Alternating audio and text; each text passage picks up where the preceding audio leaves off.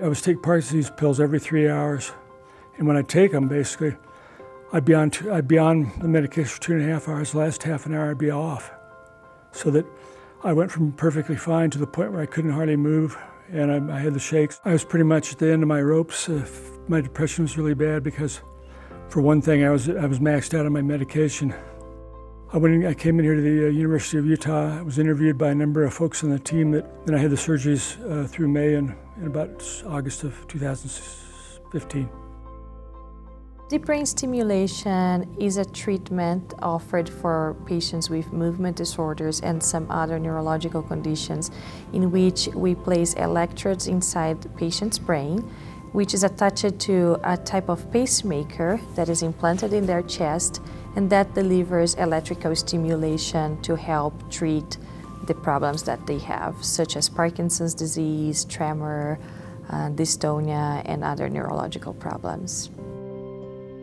About four months, I had to come once a month, one to two hours each visit, and then after that, I come about three every three months, and it's about an hour visit. Since then, we have to come about 32 miles to get here. It takes about uh, an hour one way. It would, it would take a lot of stress off of us in the sense that we only have, we have a University of Utah clinic right there within about five minutes of our house. And if the doctor knew, there knew how to do it and the ability, we could save about half a day each time we come in here, which is every three months now.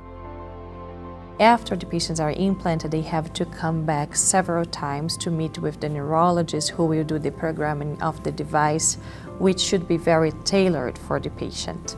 So it's rare to find this technology and this resource uh, in some areas. So the SCI Institute is working in developing ways to make both physicians and, and patients' life uh, easier.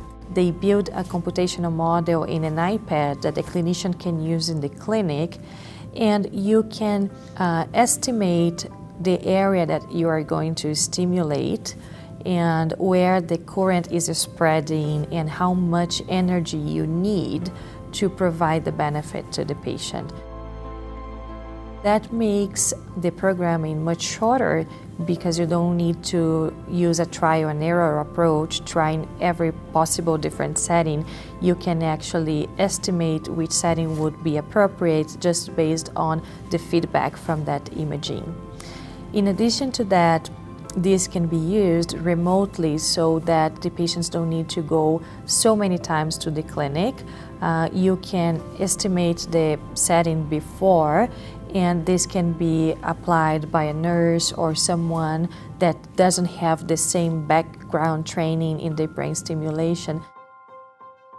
If you're a patient who lives in rural areas or many hours away and you get DBS therapy, with the, the type of care that we can provide right now, those patients and their families are signing up to travel to an academic medical center for the rest of their life. And we think uh, this has a, a huge effect on patient quality of life. And so one of the things that we've been doing is exploring whether we can uh, create a care model where patients can stay at home but still get expert management from uh, from their doctors at major academic medical centers.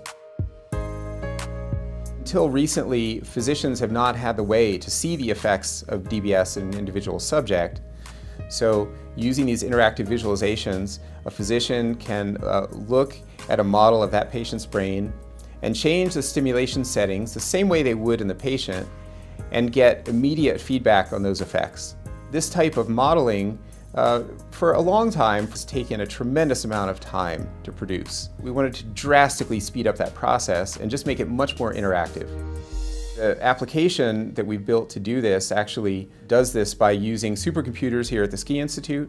If one of our physician colleagues is looking at a, uh, at a patient model on their, their iPad and they want to change the settings, that's packaged up as a request, it's sent to the SCI Institute, these computations are done in near real time and delivered back to them, and then they can see the results, usually in about 1 to 15 seconds. Deep brain stimulation is not for everybody with Parkinson's disease and not for everybody with movement disorders. Most patients with these conditions tend to respond extremely well to medication therapies. However, about 10 to 15 percent of the patients uh, start to have some degree of uh, complications independent of their medical treatment, and that's when they become candidates for deep brain stimulation. Deep brain stimulation surgery has been like a miracle in my life in the sense that uh, I feel like a normal human being again.